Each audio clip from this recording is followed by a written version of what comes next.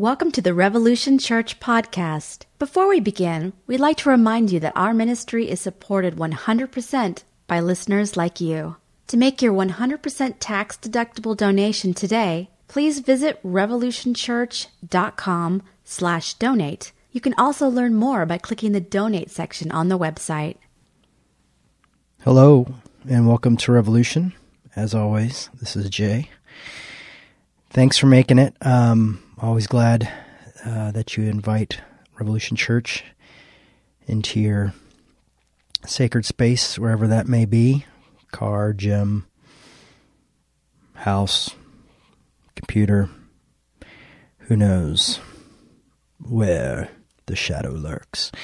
Um, we are in the middle of Galatians, but I also wanted to con- continue to uh, update you on my own personal stuff.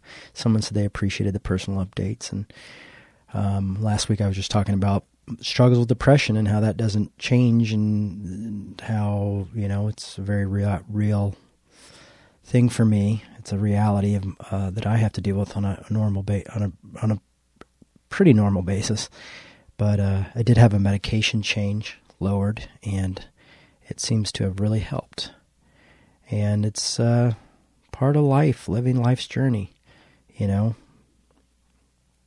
it is tough trying to be a pastor and a full time parent and a husband and just keep things moving and active and a student and all these things and uh, sometimes you need extra help and then sometimes you realize that help might be too much and so yeah i'm i'm uh, doing doing well so that's my little miniature update for me, and I uh, hope you're doing well as well.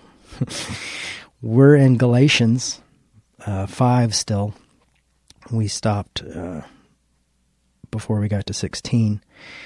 And 16 is uh, one that's probably been used uh, against a lot of people. Probably you've had it told, uh, heard as a sermon sermon before about who's going to heaven and hell and all that kind of stuff. And this verse is not about that at all. But I just want to kind of cover some ground we already covered first. Um, and that's right back at five. I must just five thirteen. It says, "For you were called freedom, brothers and sisters. Only don't use this freedom as an opportunity for self indulgence, but through love come slaves to one another.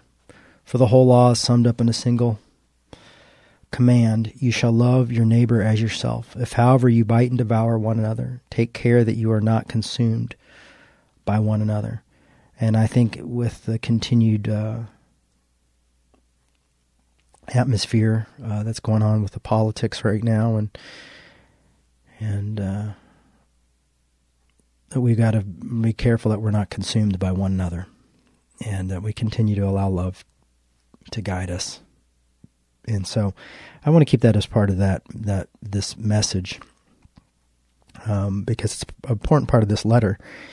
And you know we don't have whole time to read the whole letter at once and then talk about it, so we're cutting it into pieces, like someone did with verses and chapters. Um, but I think that's an important thing to remember, and that's where we're coming from, and we're about to get into the next thing.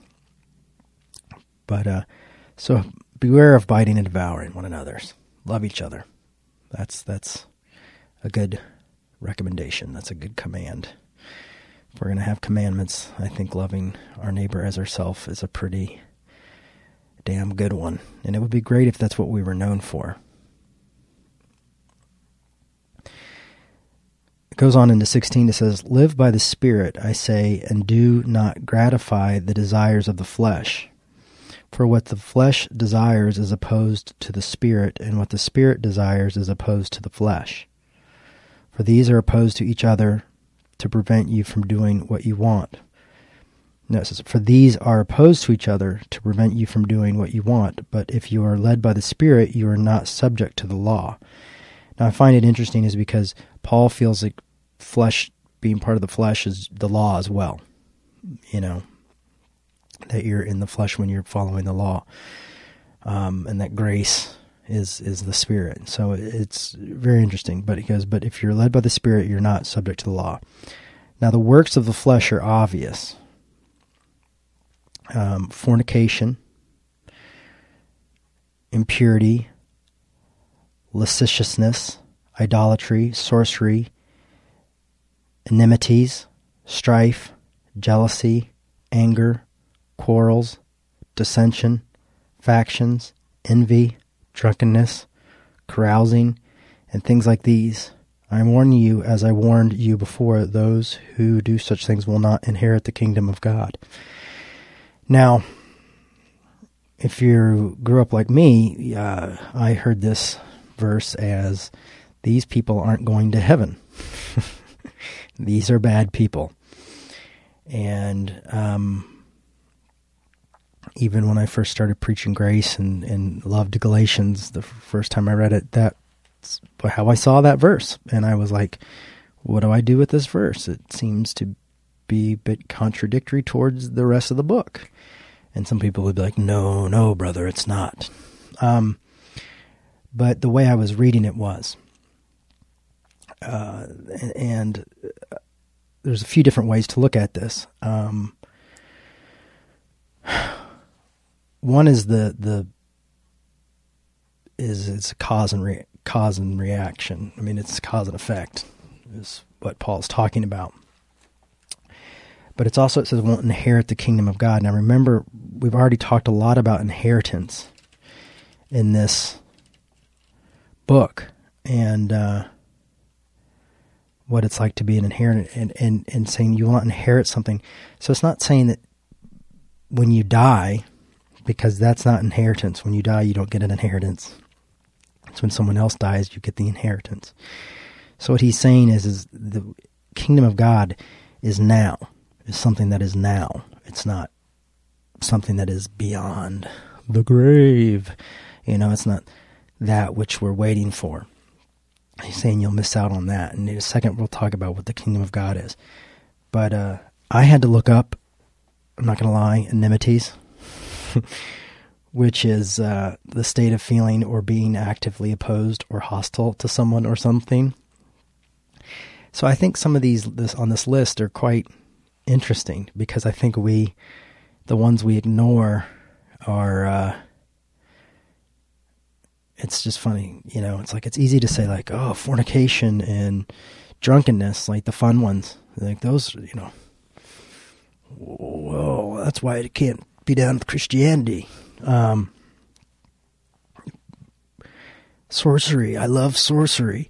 Um, but uh, people don't get the, you know, we forget to look at the idea that it also says enmities, which is, you know, feeling towards hostile towards other people, strife or jealousy or anger quarrels, arguing, constantly arguing, which which is what Paul's doing here. Dissension, which Paul's dealing with right here, that there's been dissension. Factions, you know, thinking you're better than other people, starting small groups that that uh, that leave others out. Envy, you know, wanting what others have, hating others for what they have. Um, so not just drunken and carousing are, are the things here, but I want you to just look at these as your own life and see what you feel is uh, what do these kind of take you out of out of peace really? Because that's what it's it's talking about. It's talking about god here god's presence here on earth now not you know the ground of being your ultimate concern. It's not talking about an afterlife. This is not an afterlife verse. Um and it goes on to say in 22, by contrast, the fruits of the Spirit is love, joy, peace, patience, kindness, generosity, faithfulness, gentleness, and self control. There is no law against such things, and those who belong to Christ Jesus have crucified their flesh with its passions and desires. If we live by the Spirit, let us also be guided by the Spirit. Let us not become conceited competing against one another, envying one another. So, what it's saying is that these things, and I'm going to read it, um, I have a paraphrased Bible here as well, and I'll read that in more the fleshly list from there so it gets a better idea. Uh, sexual immorality, impure thoughts, eagerness for lustful pleasures, which I think they're really doubling down on that one on this translation. Idolatry, participation in demonic activities, I guess that'd be sorcery, hostility, quarreling, jealousy, outbursts of anger, selfish ambition, divisions, and the feeling that everyone is wrong except those in your own little group. Envy, drunkenness, wild parties, and other kinds of sins. Now, that's the New Living, how they put it. This one has carousing and and uh, drunkenness and envy. But anyway, so that's that's another way of of hearing that. Uh, more of a paraphrased translation that's translated thought by thought rather word by word, which uh, I'm reading from someone asked the other day, the new Revised Standard Version because it's a more accurate version. Anyway, so I think we see a lot of dissension, a lot of factions, a lot of jealousy. I think we see a lot more of that in the church than drunkenness and carousing. You would think the church has has picked the ones they want to, rather than going after envy and uh, selfish ambition and divisions and uh, things like that. We've gone after these other things. Now, this is just things that steal your love, joy, your peace, your patience, your kindness, your generosity, your faithfulness, your gentleness, and your self control. That's what it's saying. It's not saying that these are things that send you to hell.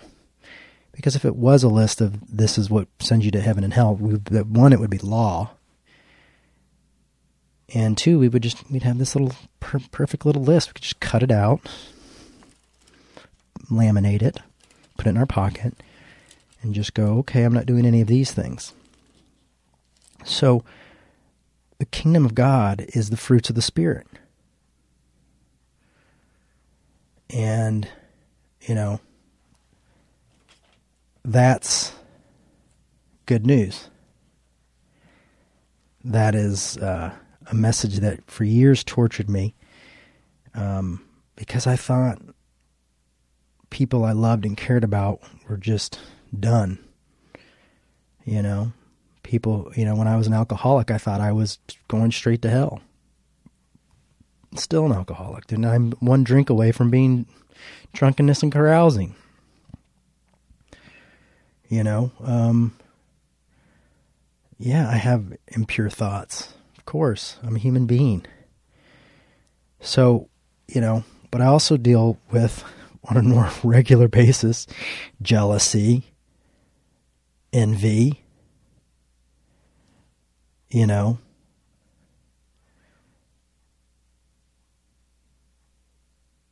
intimate, intimacies, strife, you know, daily. These are things that I deal with. So it's not just, you know, the anonymity, which sounds like anonymity, but the anonymity, the state of feeling or being actively opposed or hostile to someone or something. I have that feeling. I have that feeling in many relationships and friendships. Not many, and tons right now, but just a few in my life, you know, but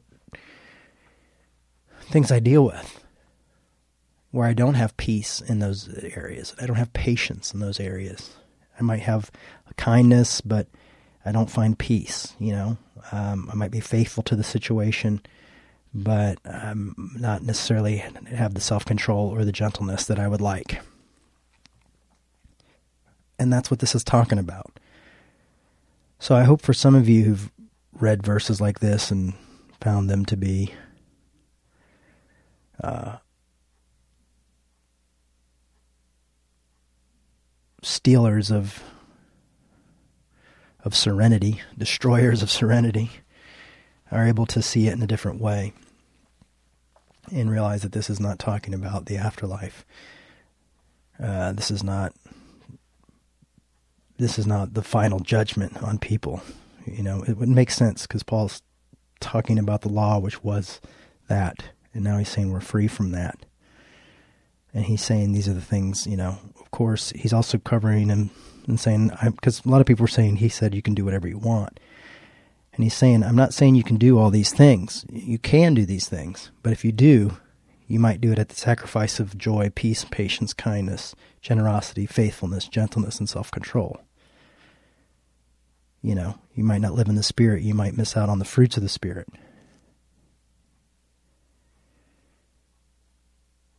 You know, so we won't inherit these things that we've inherited from Christ's death that the new covenant has given us, not our death.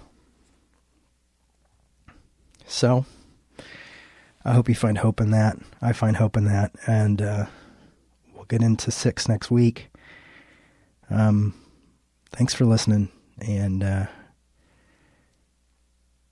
you know, remember, don't bite and devour, devour one another.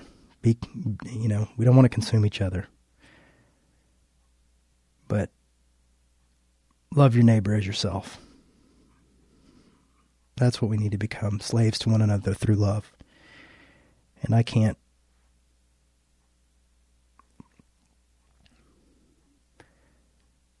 I can't uh, push that thought more right now. Um, I think it's something that we all need to sit with. And uh, this other this other thing's important too. I want us all to have the fruits of the spirit, especially in you know this time. But I think that all of that comes from avoiding strife and anger and quarrels and dissension and having factions. So, you know, when you love your neighbor as yourself, those things aren't issues. We love each other and when we're aware of uh, the consequences of what happens when we do those things when we infight and when we go out to destroy one another. It can consume us. So, thank you. This is Revolution Church.